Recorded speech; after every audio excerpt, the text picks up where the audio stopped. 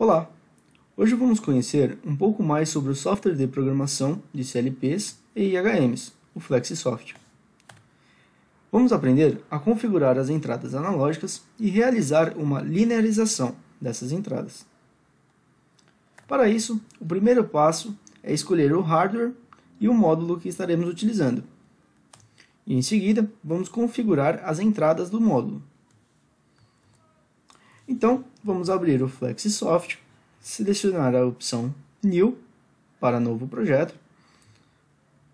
Vamos selecionar FlexiLogics para os CLPs. E vamos utilizar esse modelo mesmo, FL004-0806P. Clicamos em OK. Agora, para selecionar o módulo de expansão, vamos em I/O Allocation Expansion. Em slot 1, vamos dar um duplo clique. E, em Model, vamos selecionar a nossa expansão de entrada analógica. Vamos utilizar a FLA 040016. 16 é referente a 16 bits de resolução. Vamos selecionar esta opção para que quando realizarmos o download para o CLP, ele assuma essas configurações. E agora em Configure. Aqui vamos selecionar para o canal 1, 2, 3 ou 4 qual o tipo de entrada que ela vai receber. Ou seja, de 0 a 10 volts, de 4 a 20 mA ou de 0 a 20 mA. Para o canal 1, vamos permanecer como 0 a 10. Para o canal 2, vamos alterar para 4 a 20 mA. Após configurarmos, clicamos em Confirm. Note que ele tem que assumir essas configurações que selecionamos. Agora podemos fechar e OK.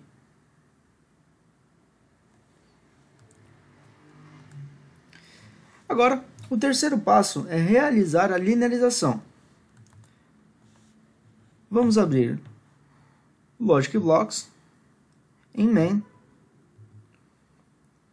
Block 1. Precisamos primeiro transformar essa entrada analógica para uma memória do tipo real, para podermos utilizá-la dentro do nosso bloco de linearização.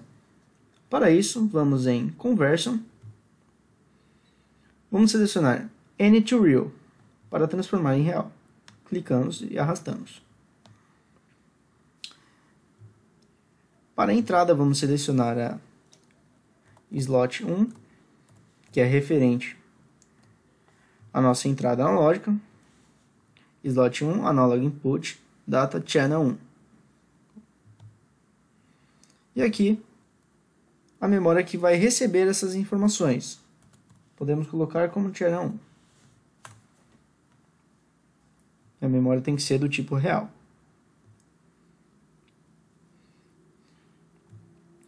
Então, vamos selecionar em Math o bloco de Scaling para realizar a linearização. Para In, vamos selecionar o Channel 1, que acabamos de criar, Em entrada mínima, vamos selecionar uma constante zero.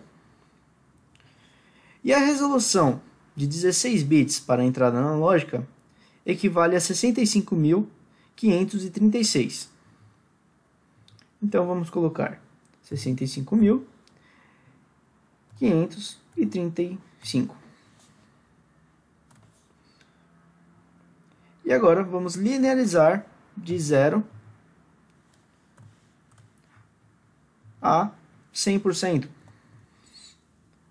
E aqui a memória que vai receber essa linearização. Então,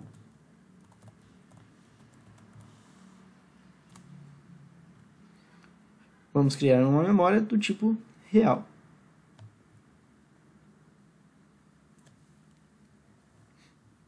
Podemos compilar para ver se não tem nenhum erro nenhum erro detectado, então podemos realizar a simulação. Agora podemos simular um valor de entrada como sendo a nossa entrada analógica.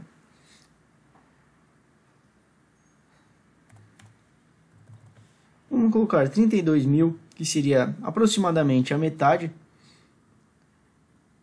da nossa escala total. Fica próximo dos 50%. Ou se colocarmos o valor real,